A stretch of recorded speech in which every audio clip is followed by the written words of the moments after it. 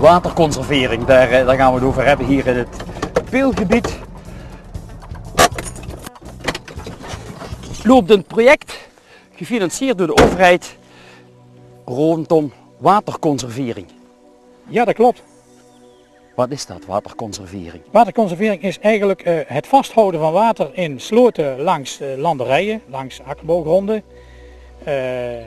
En waterconservering kan ook zijn, en dat is dus hier op dit perceel eh, gebeurd, middels drainage het inbrengen van water. Dus eigenlijk, drainage is normaal in het normale landbouwkundig gebruik voor afvoer van water, maar hier hebben we een proef aangelegd.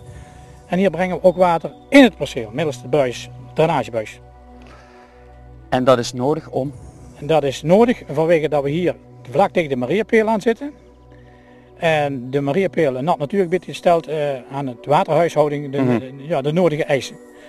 Hier rondom eh, de, de Mariapeel ligt eh, het landbouwgebied met een heel divers grondgebruik. Grasland, maar ook akkerbouw. En dat hebben we de vorige week geleerd, dat vraagt om een andere vorm van waterbeheer in de grond. Precies. Kijk. Dat vormt, inderdaad een andere wateraanpak.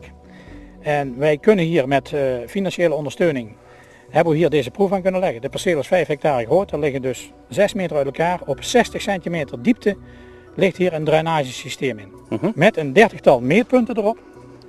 Hier staan we bij één van die meetpunten. Ik heb hem er even uitgehaald. Ja. Dit is een zogenaamde diver. Die brengen we hierin. Die laten we gewoon naar beneden zakken aan een lang koord. We doen het dopje erop. Nou zit dat metalen apparaatje zit in het grondwater. Mhm. En elke twee uur geeft hij een signaal af hoe hoog de grondwaterpeil is in de bodem naar een centrale computer. 30 punten op dit perceel. Eh, de neerslaghoeveelheden hebben we erbij gehouden. Hier langs het perceel hebben we wateraanvoer. En dat is wel van belang voor zulk systeem dat er Er wateraanvoer in slootjes omheen. sloten omheen waar dus continu water in staat. Mhm. Dus ook eh, maaswater ingebracht wordt. Ja.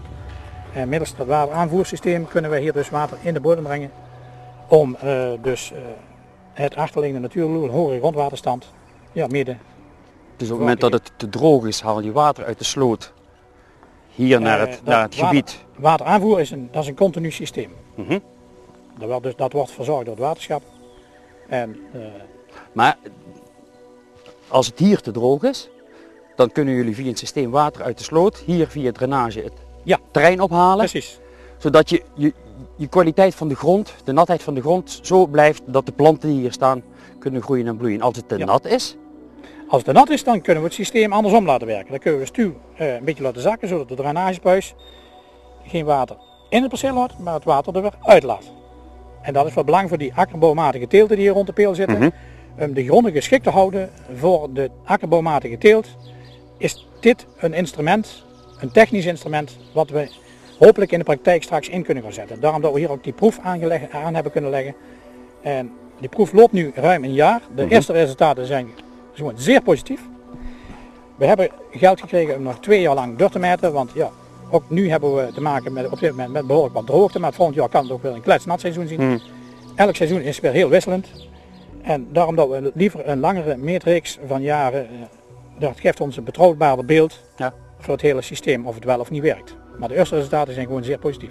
Hier ligt van alle handen regelgeving op dat natuurgebied wat zijn invloed heeft in dat landbouwgebied. Mhm. En er zit een spanning tussen. En om toch dat natuurdoel te realiseren zijn wij zoek, aan het zoeken naar maatregelen. En En- een van die maatregelen kan dit systeem zijn.